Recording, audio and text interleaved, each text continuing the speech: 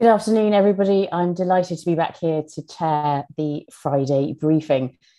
COVID cases are on the rise again. According to the numbers from the Zoe COVID study, currently around 285,000 people are being infected daily in the UK, and I've just joined them. And the numbers are expected to go beyond 300,000 very soon. Along with infections, hospital admissions are also climbing, as we might expect. So, this is a really important juncture right now when it comes to thinking about mitigations, especially to do with vaccines, boosters, and developing immunity with respect to the different variants. And that is going to be the central focus of our discussions today. We've got three fantastic guests to help us to discuss these issues today Professor John Moore, Professor Maria Elena Bottazzi, and Professor Rosemary Boyton. Welcome to all of you. Thank you very much for joining us today. But before we get into that discussion, Dr. Duncan Robertson is going to present the latest COVID numbers and trends. So over to you, Duncan. Thank you. So we're very much in the uh, BA5 wave. Um, and uh, as Alice was saying, that infections are increasing, hospitalizations are increasing, uh, but also the number of people in hospital are increasing. So let's have a look at the messages for today. So very much in this BA5 wave, um, we were thinking it was a BA4 and BA5 wave, but it seems as though BA5 is taking over. Um, and infections from the ONS survey, which uh, of course comes out uh, every Friday, um, infections are increasing in all UK nations, and uh, you know Scotland is ahead of the curve um, with one in 18 testing positive, which, when you think about it, is um, is a huge number. Uh, infections are increasing in all age groups. Um, hospitalizations increasing. Uh, number of people in hospital increasing, and number of people in mechanical ventilation beds increasing too. And I think uh, you know it's worth kind of saying that um, at the moment we're we're getting uh, changes in the data. So the ONS uh, COVID infection survey is being reduced. The number of people who are uh, taking that survey is being reduced. People are going to be returning their swabs by post rather than by people going to their their their homes. Uh, the COVID dashboard from today is now being updated weekly rather than daily. And we're in the sort of stage where we're sort of increasingly looking in the rear view mirror to see what's coming. But we do have data and we've got very good data. So we can have a look at what it is. So people testing positive, this is from the ONS survey, and uh, this is the representative survey. So it's not um, affected by uh, the number of people uh, doing tests. And as you can see, we have uh, infections increasing uh, over the last few weeks. Uh, you know, look at the blue line is Scotland. This is one in 18, as I say, which is a huge number of people testing positive. One in 25 uh, in Northern Ireland, and for Scotland, uh, sorry, and for England and Wales, it's around one in 30 uh, or around 3%. So another way of looking at that is to see, um, and I think one, one thing to say actually is, is, you know, is this a surprise? Well, we've been talking about this for quite a few weeks now, and uh, UKHSA uh, published their risk assessment at the end of April for um, BA4 and BA5, and this is what this risk assessment is for. So we can see that you know that it, we can see by the, the data that uh, the growth advantage is there, um, and uh, so this is this is not really a surprise. So in terms of number of people testing positive, as I say, one in 18 in Scotland, uh, one in 25 in Northern Ireland, and uh, one in 30 in England and Wales.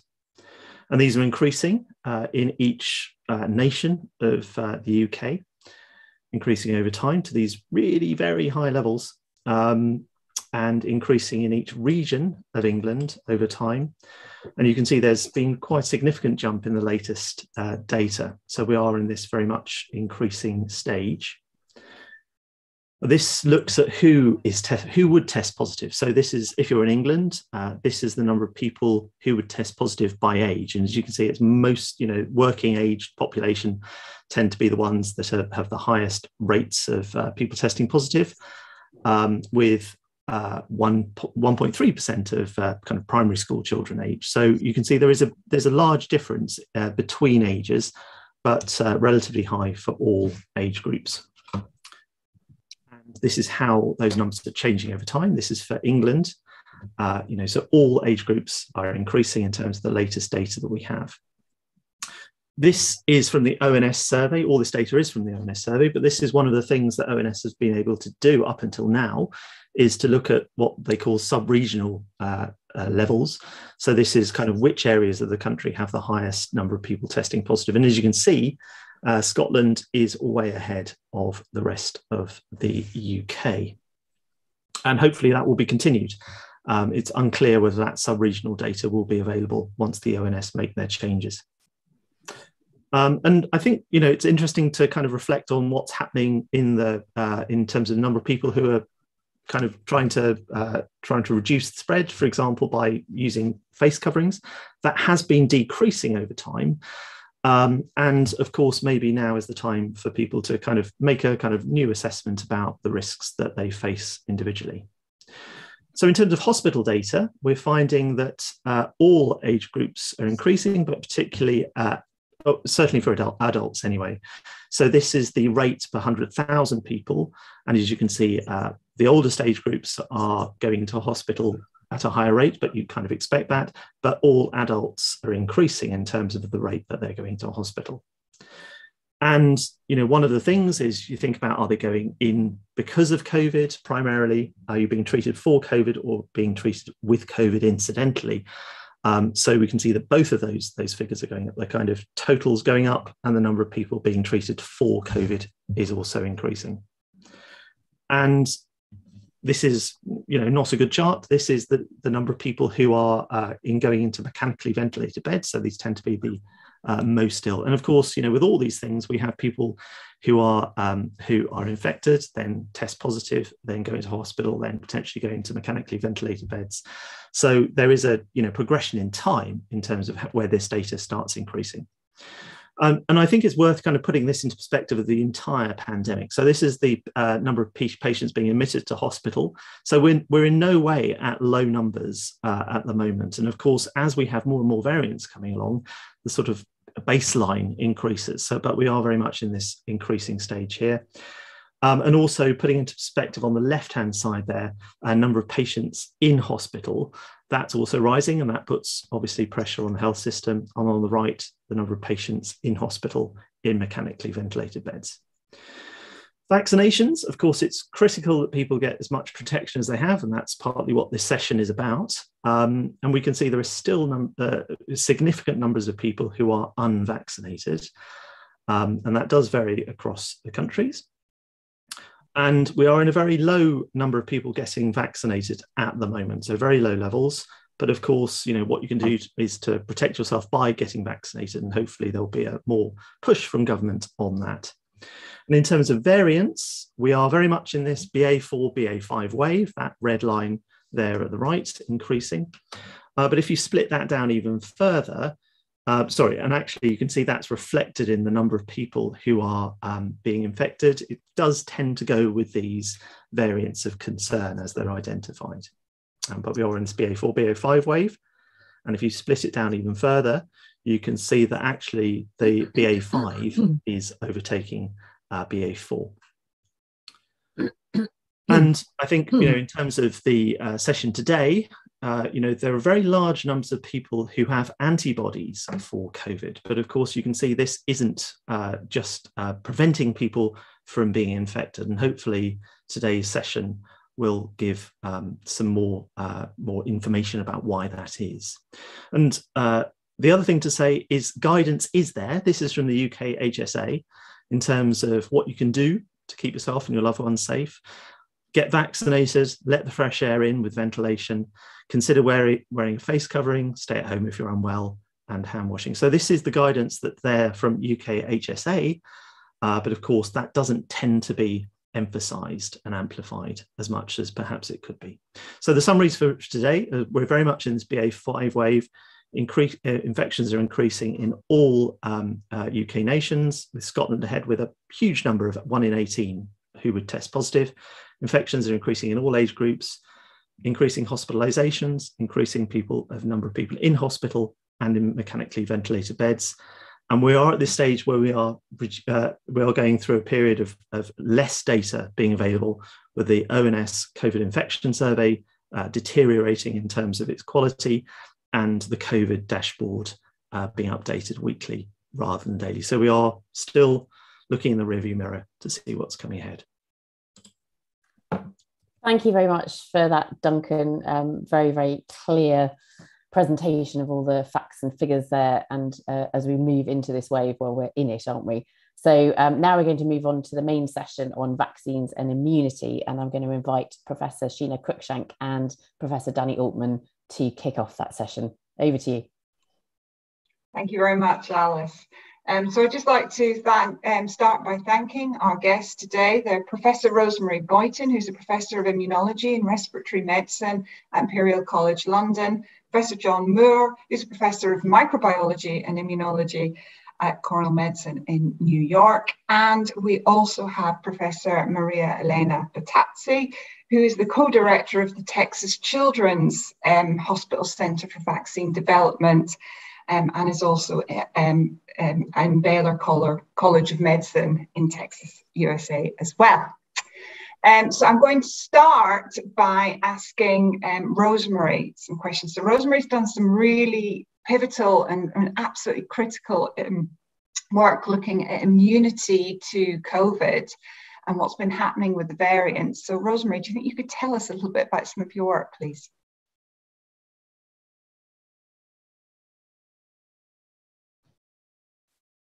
Yeah, sorry, apologies. Um, well, thank you for inviting me. I think there's three key concepts I'd like to get across. Um, the first concept is about binding immunity, where people get their ancestral antibody serology tested. Um, and what I'd say about that is there's almost no correlation whatsoever between your ancestral binding antibody level um, and what kind of neutralizing antibody response you might make against a variant of concern. Um, there's absolutely no correlation with Omicron neutralization from live virus. That's the first concept to get on board. What those binding antibodies are telling you is how well you've responded to the vaccines, because the vaccines all contain a sequence from spike that's from the ancestral strain. So that's telling you that you've made a very good response to the vaccination. Now, the reason people aren't dying and getting seriously ill who've been vaccinated three or four times is because what that's done is it's built up cellular and antibody immunity where there is a kind of headroom of protection.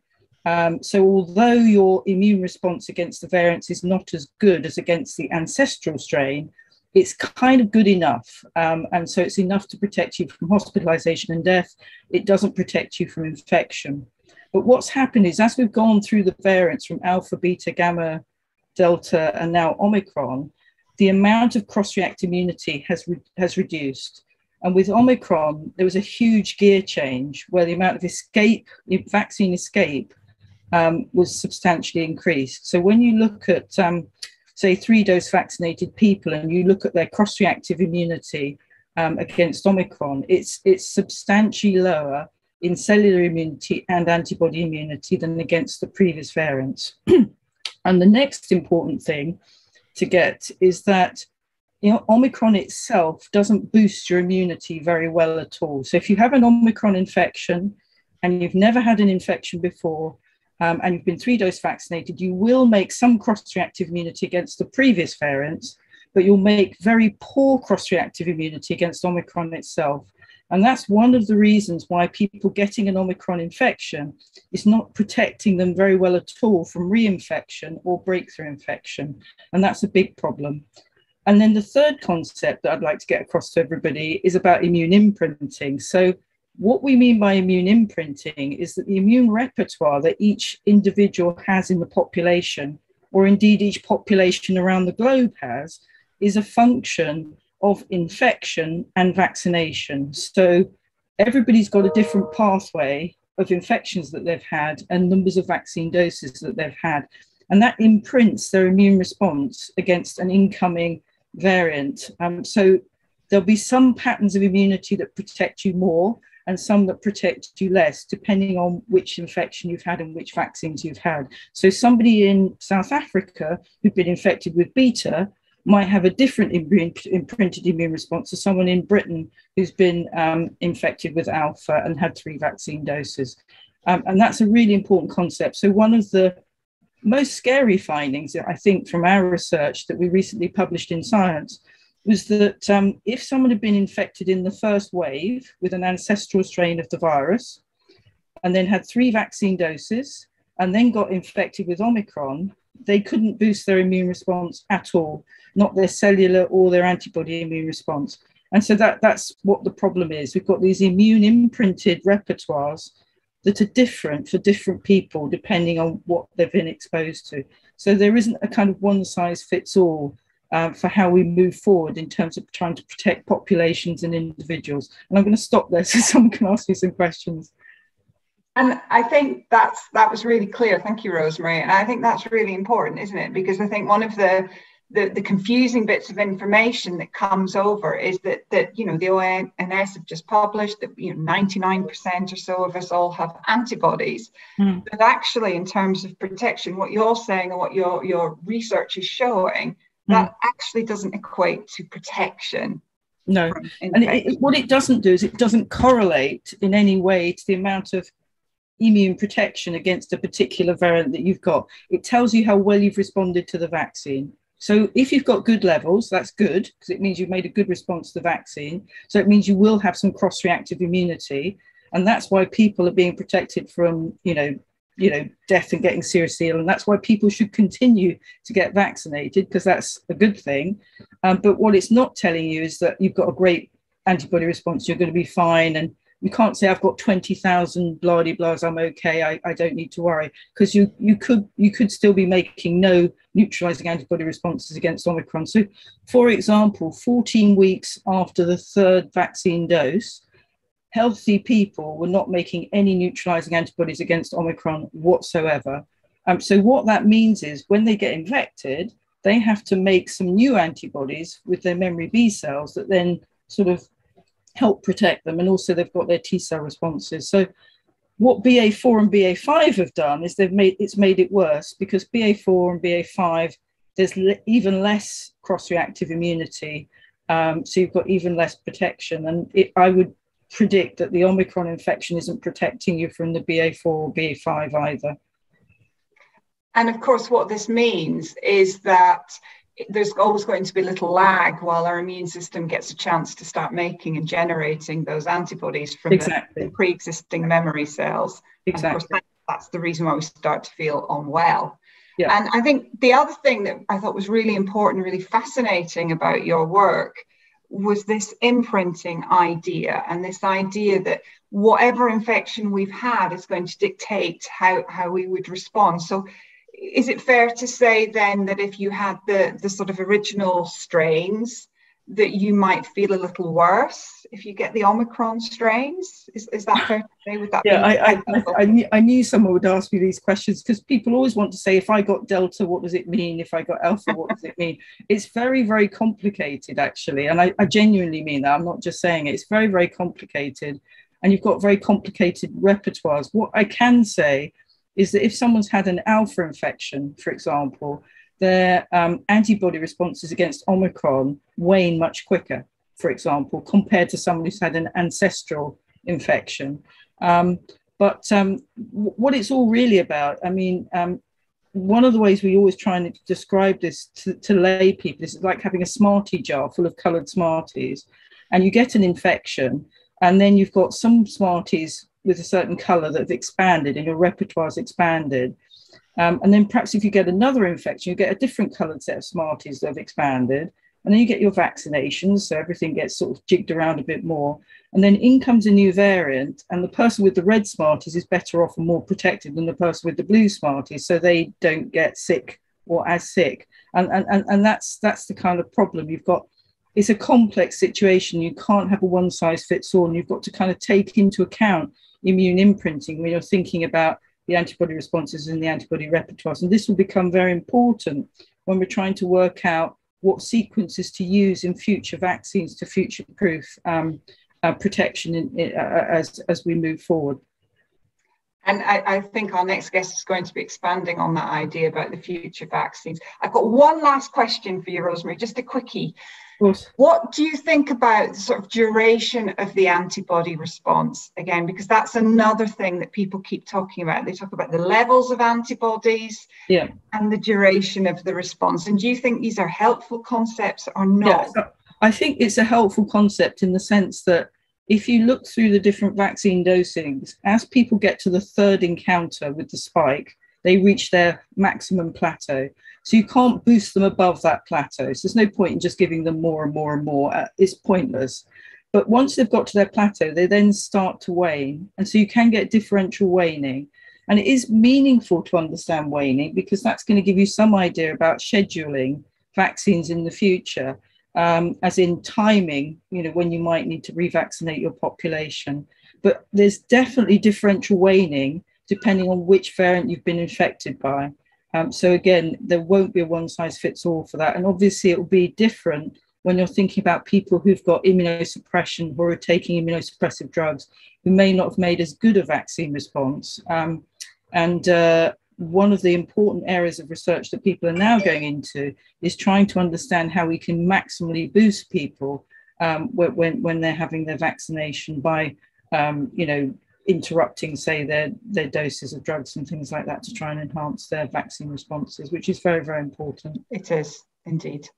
Thank you, Rosemary. I'm just going to pass over now to my colleague Danny, who's going to um, take our next guest.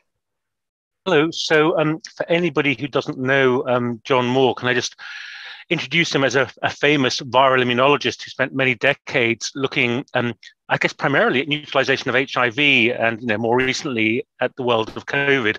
And one of the things he's done in in COVID times is to perform this really heroic task for the community, doing a really comprehensive encyclopedic review of the literature every single week of hundreds of papers that have kept us all really, really on board. Um, so, so John, hi, with, with all that enormous um, brain wattage and, and, knowledge on board, um, you know, you've heard, you know, obviously we're not in a good situation, particularly in the UK at the moment, from all that data we just looked at, both in terms of, you know, BA5 prevalence and vaccine uptake. And we don't have much discussion even about where next for vaccines and vaccine campaigns. Just paint us a picture of how you think things look at the moment in the USA in terms of where next for vaccines and the next generation. Sure, thanks, Tony. So I'm in Manhattan in New York City. The US population is about five or six times greater than the UK. So you've got to divide these numbers uh, proportionately the reported infection rates in the States are around 120,000 a day, uh, which is underreported because people don't report at home testing, probably the same as you guys do. Uh, we have around 30,000 people in hospitals, 3,000 in ICUs, and we're losing around 350 people a day. So they're the kinds of numbers in the pandemic. At the moment, we're seeing BA4 and BA5 um, becoming dominant. They're on the way up, replacing BA2, BA12.1, etc. So we're perhaps a month behind where you are in terms of BA4 and BA5.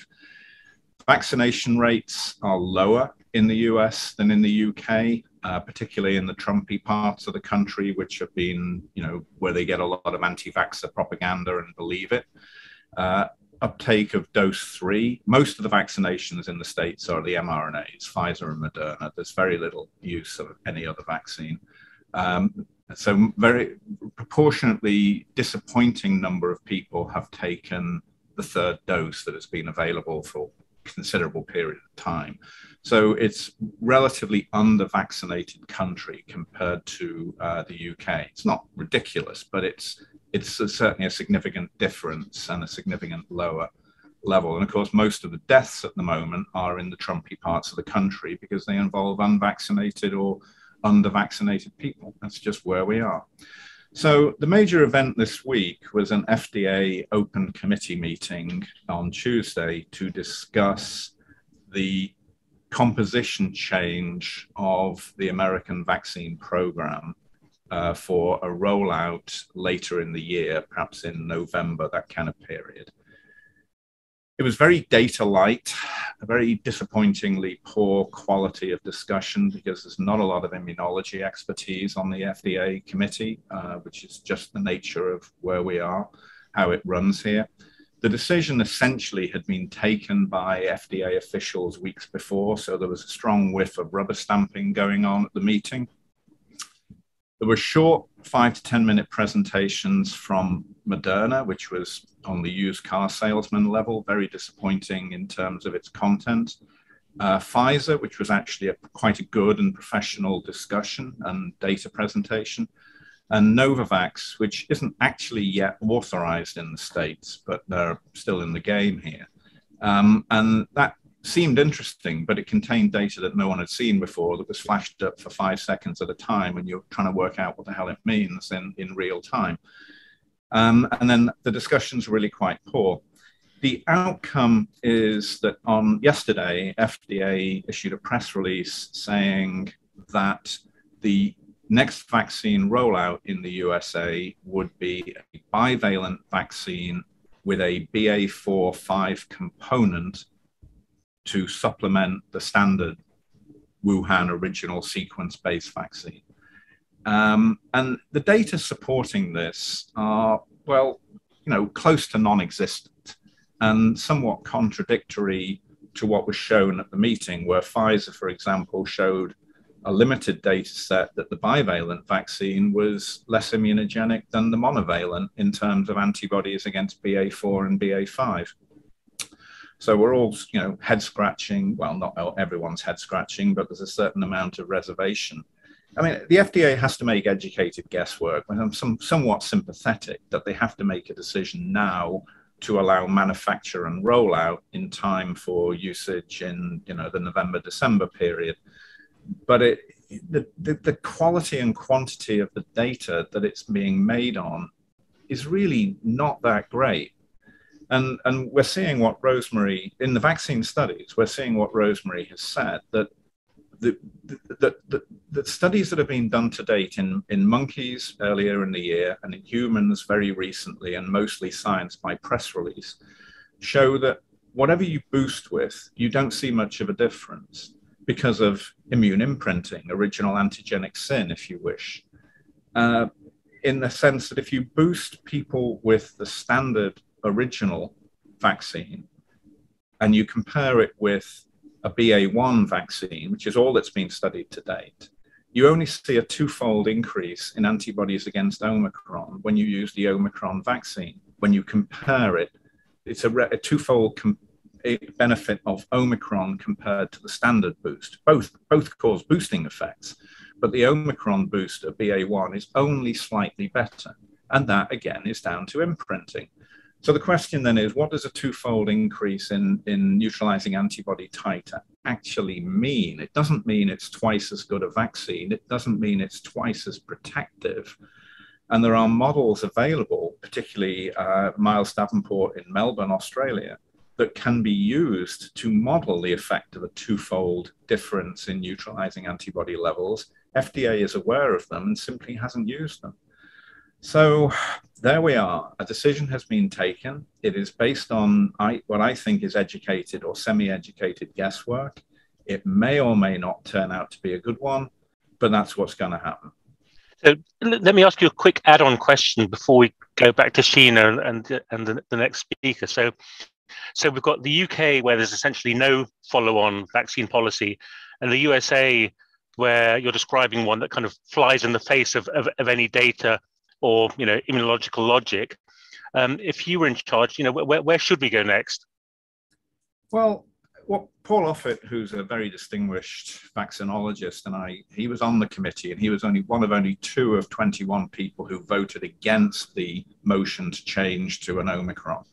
I mean, you know, we've talked a fair amount about this and wrote an article in in Stat, and he was against the move. I was more agnostic. What I was wanting to see was a more informed discussion among leading immunologists and modelers such as Miles Davenport to assess the available data in a more thorough manner than happened at the FDA meeting, which was seriously immunologically light. So I was saying, look, you know, I get the need to make a decision in the immediate future. We're not saying let's come back in a couple of months but take a week and, and, and have a serious discussion of what are the available data. I mean, they're being flashed on a screen in an open committee meeting. You're trying to get to understand them. Then they move on to the next slide. And, and you're just going, what, what's going on here? And, and Moderna and Pfizer had contradictory data on bivalent boosters, where Moderna was claiming that their bivalent booster was better than monovalent, and Pfizer was saying it's worse, um, probably because they're using half as much. When you're doing bivalent, you're having half as much of each, so you're reducing your active vaccine concentration for Omicron. So, you know, what is the definitive data set? We don't know. It's. I just wanted them to take some more time and have a wider consultation uh, as to what the data mean, because you're taking a multi-billion dollar decision affecting hundreds of millions of people. And, and as I said earlier, there was a strong whiff of the FDA officials had decided several weeks ago and just simply needed a rubber stamp. That's that's really um, sobering slash alarming. Um, I'm sure there'll be lots of questions. Let's go back to Sheena to introduce another view of the, the vaccine landscape.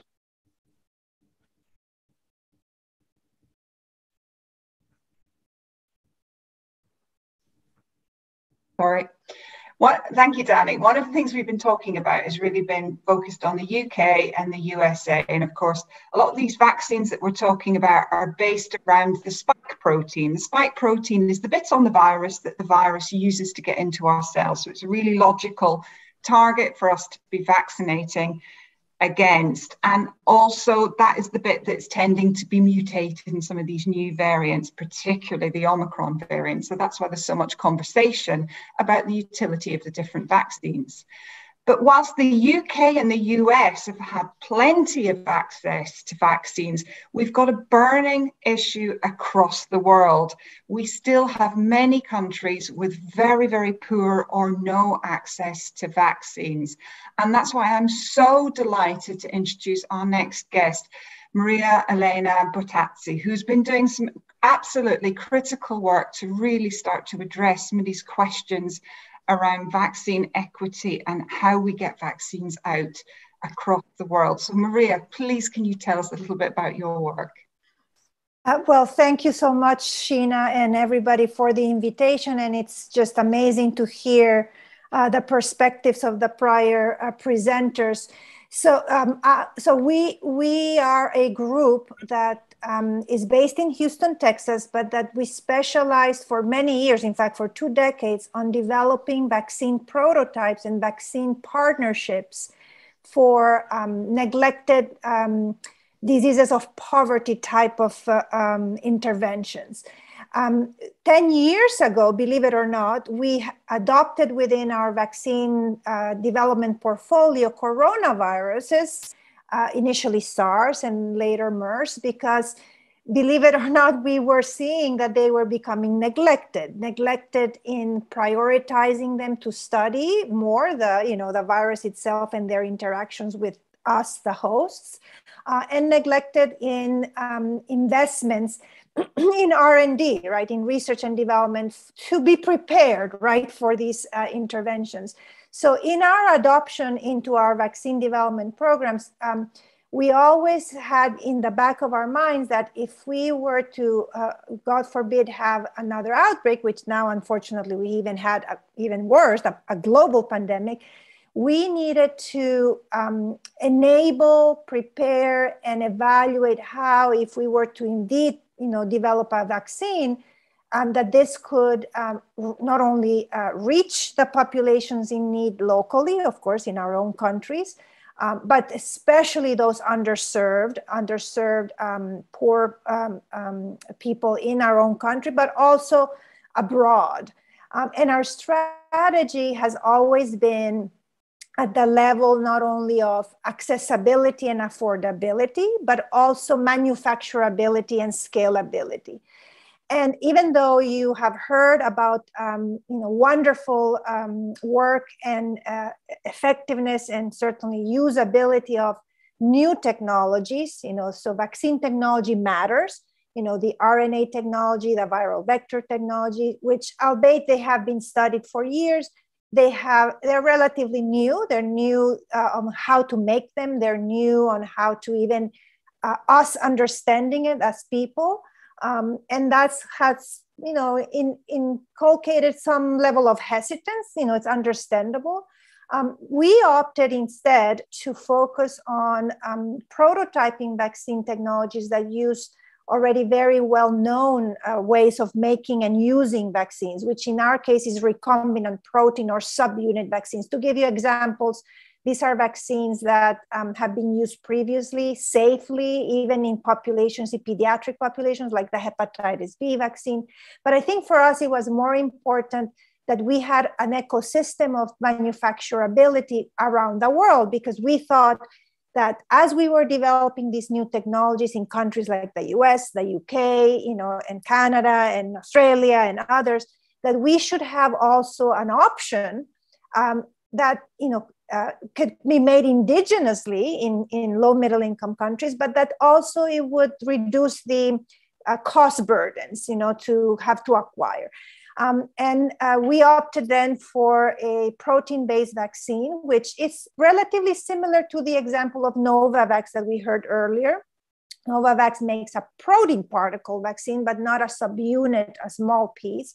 We also uh, focus on the receptor binding domain, as you mentioned, it's, it's, a, it's a small component within the spike protein. And um, certainly evidence in our laboratories preclinically had shown, even from the days of SARS and MERS, that there was a potential for it. Unfortunately, they were not very well um, um, uh, accepted within the policy and financial uh, groups.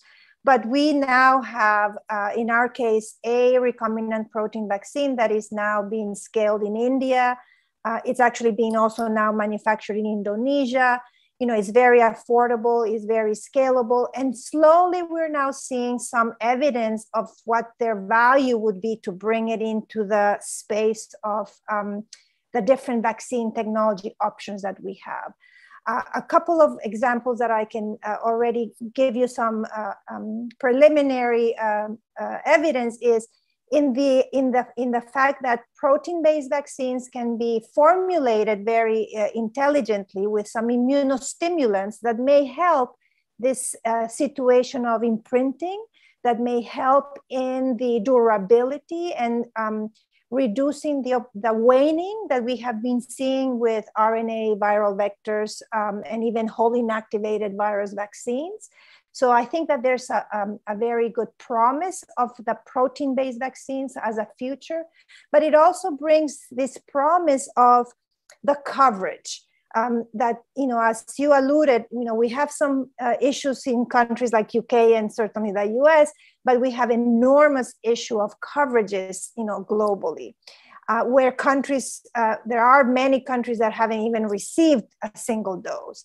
Um, that is um, paired with the hesitance situation where, you know, even uh, we now have in many of these low middle income countries, not even a vaccine supply issue. We even have an excess uh, of vaccines, but people just do not want to use them because of, you know, um, you know, untrust. Uh, maybe they're seeing, you know, reflected in the fact that you know like you're we're seeing that you know the people may think that it, they don't work anymore that what's the point of me getting vaccinated if i'm already getting infected you know they see themselves that there may not be a value we actually did a study with a group of uh, health economists at the central university of new york uh, where we actually did develop a model a computational uh, economic model where we see that even incremental gains of 1% coverages of vaccination could not only avert certainly death, uh, hospitalizations, but it could really also not only save in direct medical indirect costs, but it would really provide measurable um, impact in preventing um, uh, the arise of these new variants. And I think that's the the, the, the, concern that we have that we are going to be putting all our eggs now in the BA45 basket, and by the fall, it may be another variant, and we would be starting from, from scratch. So I think the message then is we still need to vaccinate the world. The promise is maybe these subunit type of vaccines that are affordable and that are scalable and might be more acceptable. And we know that of course now they're safe and protective in the backbone of you know the variants that we have. Second is that we still need to you know there's value in coverage there's value in incremental coverages to provide, of course, um, you know, certainly benefit to our population and to reduce the um, generation of new variants, especially in the areas that we don't have. And then third is that we really need to um, address the hesitance problem that we have around the world and, and um, you know things like we're doing now to to bring awareness to our you know communities is important um, and the third, and maybe the fourth, the last one is in the first presentation, we saw that there may still be a need to uh, go back to some level of um, non-pharmaceutical interventions like you know distancing and masking. And i think we've also shown in uh, various again modeling studies that if we could keep a little longer especially the uh, mask usage uh, it goes a long long way especially in the areas where we see now that the variants are so highly transmissible. So Sheena, I'm gonna just send it back to you and um, see if there's any other questions. Thank you so much, Maria Elena. That was really valuable to get that global perspective and the way that we need to all work together, the value of manufacture in, in other countries, and the importance of working with communities to address vaccine hesitancy. Now, I know we've got questions from the public, um, so our experts are going to stay with us, and I'm going to pass over now to Alice Roberts, who's going to chair the wider questions. Thank you so much to our wonderful guests. Yes, thank you very much indeed. That was that was just fantastic, really wonderful. And we have got a few questions from the public here. The first one is from Maya Wolf, which I'm going to read out. The question is Is protection against infection still better from a natural infection or from the old vaccines we're still using? Will any sort of antibody, whether from infection or vaccine, protect us against future infection? Or are we just trying to avoid death and hospitalizations now, which currently still is going up a lot? So protection isn't good enough either with the amount of antibodies in the population. So, uh, I mean, I think we covered that um, a little bit in that discussion, but I wonder if um, I could come back to you, Rosemary, Professor Rosemary Boyton, on, on that particular point. Yeah, um, so I, I, think that's a very good point. So, with vaccines, in an ideal world, we'd like to have sterilizing immunity. So, what that means is people don't get infected with the virus at all. Um, I actually think the COVID 19 vaccines were fantastic. They worked incredibly well, better than we'd ever predicted um, but they didn't achieve sterilizing immunity. Um, so, so we're in a position where what they've achieved is, you know, less severe disease and, and, and less death, which is good, um, but not ideal. So, in an ideal world, you would want to try and future-proof your vaccine strategies to end up with sterilizing immunity if possible. That's actually not very easy with coronaviruses because of the nature of the virus. Um, so I think the next part of the question was relating to the ancestral strain. So the ancestral sequence is obviously the first sequence that we found in the first wave. Um, and since then, um, little bits of the spike have mutated and changed over time.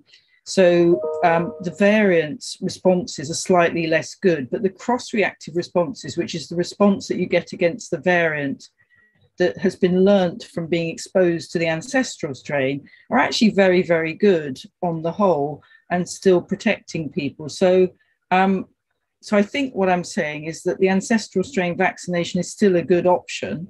Um, it's not a terrible option, but it's it would be nice if we could have more effective vaccines that were better at future proofing against future variants or against future spillover from animals to humans from bats or pangolins or, or, or, other animal species that also can get infected with coronavirus. So I think it's a complex question. I hope I've answered it. Um, I do think there's a lot of work to be done to try and develop better um, vaccine design to improve future proofing. And the key thing that you want to achieve in your vaccine design is to broaden your repertoire, not contract your repertoire. So the thing that I find slightly alarming about John Moore's presentation, if I might say so, is that if you if you could try contracting by just going for the Omicron sequence, um, that doesn't essentially seem like a great plan to me because if you look at what's happened in infection is when people get infected by Omicron, and that's the whole virus, not just the spike sequence, they're not boosting their response at all. Also, when you look in the studies that that have been done, they've been done in the context of infection naive individuals. So that's people who've never been exposed to an infection. And that's both in the animal studies that um, John was alluding to, and also in the vaccine studies that, that, that the companies do, because they always try to pick infection naive individuals. And what the immune imprinting thing is telling us is that your infection history matters. Um, so the other scary thing is that if you've been imprinted by a, a, an ancestral strain infection, and then you have an Omicron vaccination with an Omicron sequence, you might not boost at all, um, a bit like with the infection. So I think it's a very complex question, and we've really got to really get our heads down and try and work really hard to, to improve um, the design of our future-proof vaccines.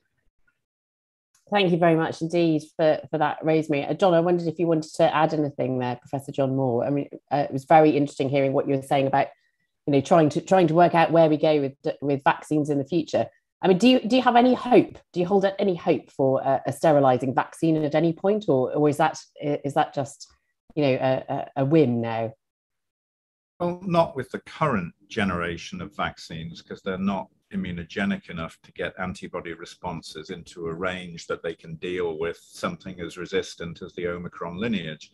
And because so many people are now antigenically experienced in UK, USA, Western European high vaccine and infection countries, uh, we're not dealing with a naive population anymore. So, you know, yes, there are highly immunogenic um, next generation vaccines in trials from you know, multiple groups, and some of them look pretty good in animal and early study, early human studies, but they're a long way from approval and rollout. Hmm. So, and then there's a lot of work being done on mucosal vaccines, which, when delivered nasally, give better local mucosal responses, but they're not very good for systemic immunity, although some of them are given in a nasal prime muco, uh, nasal prime uh, intramuscular boost format that seems to be the best option.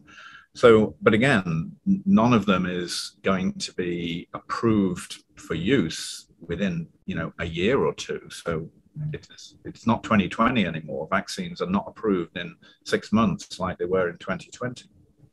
Thank you very much, John. Uh, do any of the Indie Sage panel want to come in on this one? Steve, Steve Griffin. Yeah, I mean, it's, it's absolutely right what's been said, but I think that we really do need to think about this this almost myth that's built around the fact that that being exposed and infected by this virus is preferable to having a vaccine. Um, you know, we have this long checkered history of immunological um, diversity in this country now because of infection, but it's never uh, ideal to be infected by this virus. We see breakthrough infections and reinfections, which can go either way. Obviously, most people won't have as severe disease course as they had previously, but some might.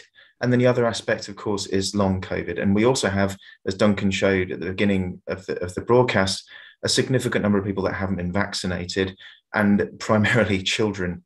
So we really need to ensure that children get their vaccines as soon as we possibly can because the children don't tend to make a very good response to infection at all. So that really is a bit of a, a, a loss and a, a risk for these children that are being exposed in schools as we speak now. Thank you very much, Steve. I mean, I think I suppose the important thing to say is that um, around all these concerns that we we might have uh, uh, about the vaccines and, and where vaccines go in the future, it is absolutely worth getting vaccinated, um, getting boosted, um, and that is always better than than getting infected. Um, so I'm going to invite another um, member of the public to come and uh, read us a question now. It's a question on behalf of Joe Woods being asked by Sabrina. Sabrina, are you with us? Yeah, hi, hi, it's Safrina. Hi. Oh, Safrina, hello. hi. Um, so I'll ask, um, there's kind of two parts to this question. Um, so I understand that the BA4 and BA5 variants are targeting the lungs rather than the upper respiratory airways that previous Omicron variants have done. So should people with asthma be concerned about this, considering that for many their boosters were at least seven months ago? And the second element of that question is Do you think, in your professional opinions, that all people with asthma who are on the annual free flu jab list should be included in the autumn COVID booster programme? And I'm just going to add here um, something that Joe didn't say, but I wanted to add this uh, because of the, the kind of audience that are here, um, is that we know that asthma incidence differs across characteristics. We know that people in the most deprived parts of the country experience asthma at higher rates. We know that Black, Asian, and minority ethnic people have highest, higher amounts of asthma as well in their communities. So I think there's something here about the fact that we need to include all of those people in the booster program. So those are my two questions on behalf of Joe Woods. Thank you. Thank you very much, Safrina. Um, Steve, I saw that you had your hand up there to answer, so you can start. Yeah, thanks, Safrina. It's a really important question, and I'll just address the first part, if I may. So, um, yes, there was a study from the Sato lab from the Japanese uh, G2P consortium that showed using um, a, a, sort of very quick system to look at these changes in these in these variants, which is to take the backbone from another virus, a very similar virus, another Omicron related virus, and put the new spike protein into that system. And they showed in that study that, that yes, this did seem to affect the ability of the virus to go into these more deeper lung cells than the, the other Omicron variants. Now, the caveat to that is that we don't at the moment have published data on um, the full viral sequence acting um, in concert, you know, with all of its genes. So that's really important to see first before we decide that's definitely going to be the case. Um, but there has been a slight uptick in, in hospitalization rates associated with infection with this. So it really is early days to say. I think the opinion of UKHSA is that it possibly isn't as bad as the Sato paper might make out. So I think we should watch this space and I'll let someone else answer the next part of the question. Thanks very much, Steve. Dr. Zubaida Haque, you wanted to um, come in on this question. I think certainly in terms of vulnerability, Sabrina, you have um, some excellent points there, not only in terms of asthma, but also in terms of the fact that we've always known that the risk factors for those living in deprived areas um, you know, sort of poorer socioeconomic areas, from Black and ethnic minority groups, those immunocompromised and so on. We've always known that the risk factors for those groups have been very high. The risk factors for people living in overcrowded housing is very high. And I think what's extraordinary at the moment is we're behaving as though those risk factors because of vaccines have all disappeared. And yet we know that people in deprived areas that in some of in some of the black and ethnic minority groups that vaccination take up is lower. There's a bit more vaccine hesitancy. We haven't completely addressed that. So we are in this extraordinary situation where the risk factors are pretty much the same um, right now, infection rates, as Duncan has shown us, are extremely high. Um, and that's extremely concerning. So, yes, the answer to your question is yes, we should be thinking about, you know, increasing um, boosters for those groups, especially as we've seen that take up has gone down, um, has gone down a lot, and waning has gone down a lot. Thank you very much. I mean, do we have any um, clarity now on on whether asthma is a is a risk factor for um, a worse experience of COVID? Because I think the um, the data seems to have been quite um, ambiguous over the course of the pandemic, and certainly asthmatics were um, were included in um, early groups for for being vaccinated very very early on, and then booted out of them. Um, and and we've gone through this kind of whole discussion about whether if you're offered an annual flu jab, um, as you said, Safrina, uh, whether you should be offered a, a COVID booster. Uh, Anthony Costello, Professor Anthony Costello. I can't answer the asthma question, but there's a paper out today in the New England Journal of Medicine which suggests that um, the Omicron infections cause double the numbers of cases of croup in young children. That's an upper respiratory fat scary problem where you you know and uh, a lot of children uh, do seem to get that. So it is it, it is targeting the upper respiratory tract in a different way. Since i have the floor can i just say one other thing which relates to maria's points? Because she in her brilliant lab has come up with a vaccine that could be sent around the world. But after 18 months we've had effective vaccines for 18 months. 86% of people in low income countries are not fully vaccinated. 83% have had no vaccination at all. And we know that 90% of the costs of the vaccines that we've got were borne by taxpayers and philanthropists. And this week, Oxfam called for a 90% windfall tax on the profits of vaccine companies, which would raise, believe it or not, a staggering $490 billion which could help a lot with the rising food security and hunger amongst children across the entire world post pandemic. Now, we know that that tax won't happen because shareholders are much more important than children in our current value systems.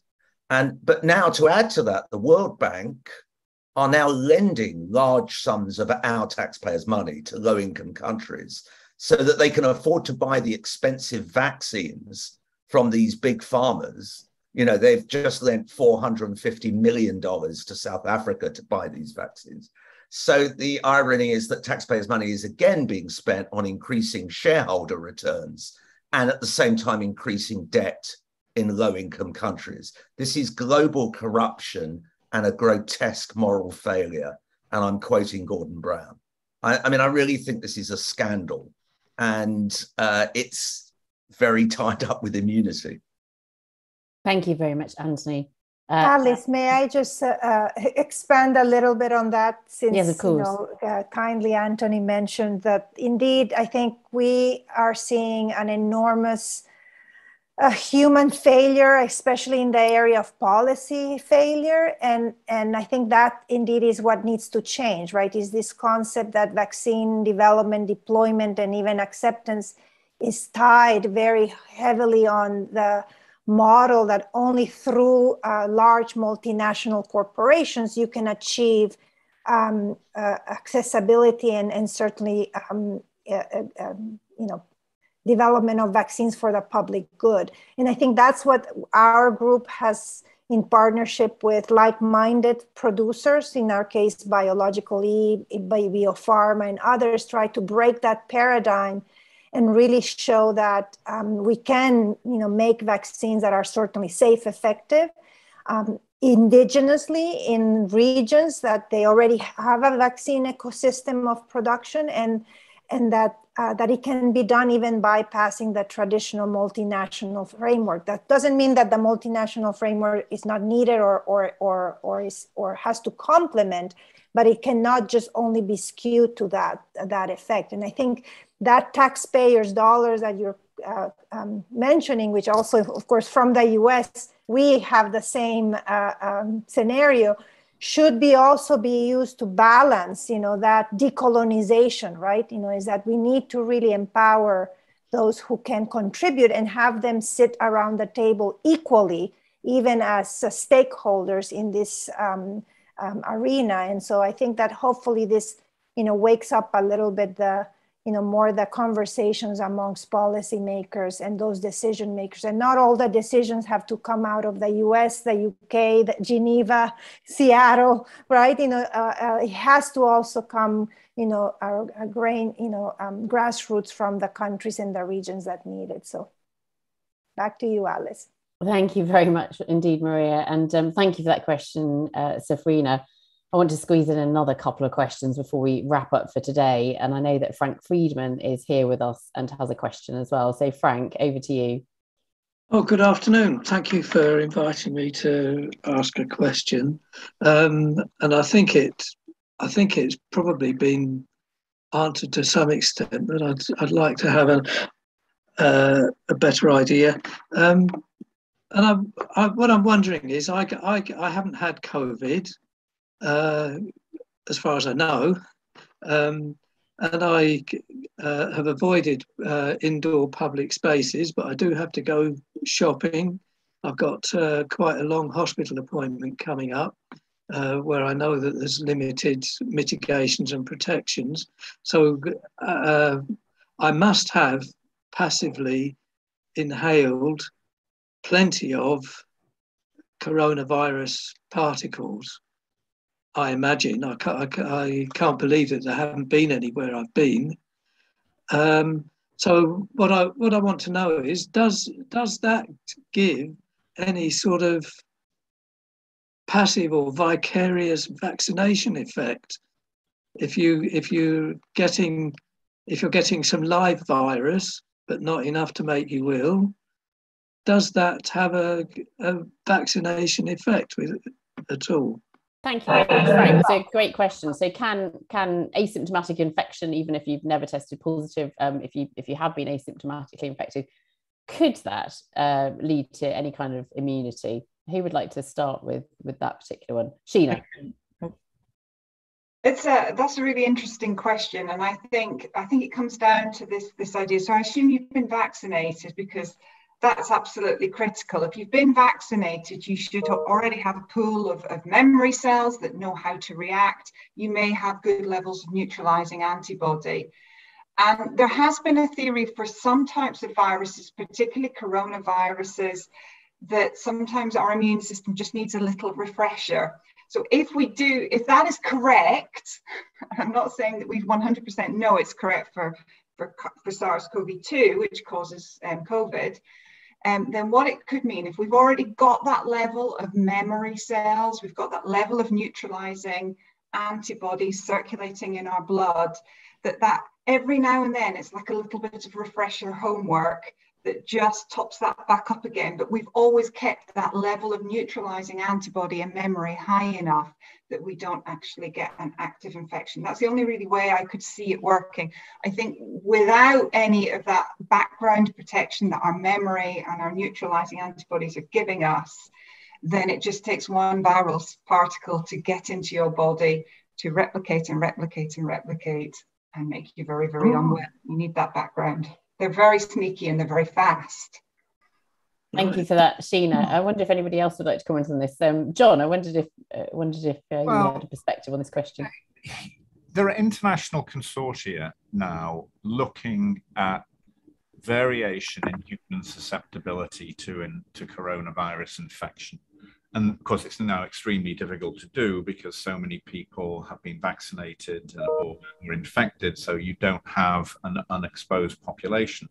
But you know, there must be considerable natural variation in people's susceptibility to infection, even given exposure.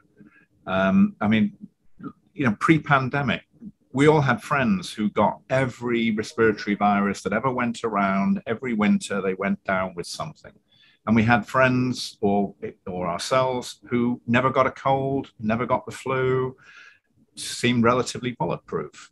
And that's natural variation in, in host innate immunity, interferons, and other ward, ways in which we ward off infections.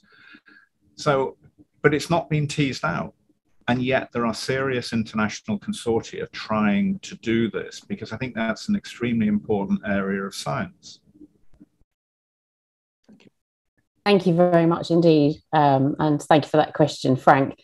And we did have a few other questions, but I think actually a lot of the points have already been covered um, in the brilliant discussion that we had at the beginning of today's session. So I am going to uh, wrap it all up for today. Uh, thank you very much to all of our guests for, for that discussion and also for sticking around for the questions as well. That's been invaluable. Uh, and thank you to all the other panelists as well, of course, for their observations thank you to the members of public who have sent in their questions. Uh, we'll be on a break next week, but Independent SAGE will be back with a Friday briefing after that. Meanwhile, stay safe and take care. Bye, everyone. See everyone. Bye. Bye.